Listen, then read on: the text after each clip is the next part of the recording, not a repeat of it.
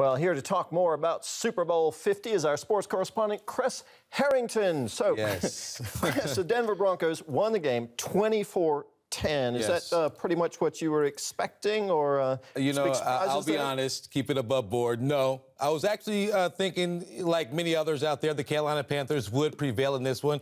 But the Denver Broncos managed to prove that old cliche right that offense wins games, but it's the defense that wins the championships. I mean, the Denver Bronco defense was kryptonite to Cam Superman Newton. They were putting pressure on him all night. They sacked him seven times.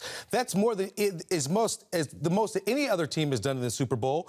And plus, he was never really comfortable. You know, he couldn't really get things going, gelling his offense. He had the orange crush coming from both sides. DeMarcus Ware, Von Miller it was just unbelievable. Too much for him to deal with. Too much for him to deal with. Okay, so defense super important in yeah, this definitely. game. Now, the most valuable player in this case, it did not go to a quarterback as it right. had many times in the past. It went to a defensive player. Is that the right choice in your opinion? Yeah, definitely. I mean, you know, they're talking about maybe this is Peyton Manning's last game, and if they would have given it to him, it would have been a travesty because he didn't really do anything to win the game. He just didn't lose the game. The difference maker was Von Miller. I mean, he was unbelievable. Two and a half sacks, two forced fumbles. One of those fumbles led to a touchdown. The other one set up a touchdown. The final score was 24-10. Do the math. I mean, take that away. It's 10-10. It's an even game. So it definitely should have gone to a defensive player. You know, you have to give it up for the defense and Von Miller. Spectacular performance from him. So Peyton Manning basically stayed out of the way. What's next for him? Is it uh, retirement time for him? Well, you know, he's already in the history books, okay, in the NFL. He has the most in NFL history, career passing yards and touchdown passes. But more importantly, he's the first quarterback in NFL history to win Super Bowls with two different teams. And then at home during Thanksgiving, he has something to talk about his brother. Now he and his brother both have two rings. I think it'll be a great walk away for him because, in all honesty, his performance during the season subpar. Okay, he led the league in interceptions. It's his 200th win, his victory. He should definitely go out, you know, that way. I would say.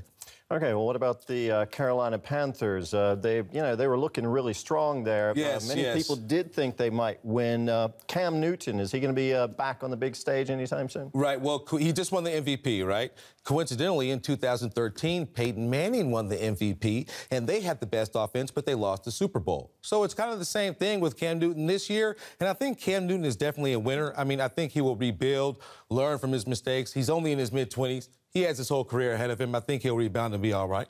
Okay, well, uh, where did you watch the game? I mean, we're talking, we're, we're here in Europe. We're, a, right. you know, hours behind. Uh, you must have been up all night watching. Yeah, I was. It was an all-nighter for me. You know, I have to be honest. Maybe I'm a little, a little tired, but it's okay. You look um, great, though. I, I went. Uh, appreciate it. um, I went to a nice little um, Irish pub called Offside. You know, in the local area here, and coincidentally, there was a an American football team that plays here in Berlin called the Rebels, and they were all there. And you know, it was a nice atmosphere actually. Everyone was very familiar with the game. You had people on both sides, rooting for both teams. You know, I love the atmosphere. It kind of felt like I was back in the States because everyone was well informed about football in that area.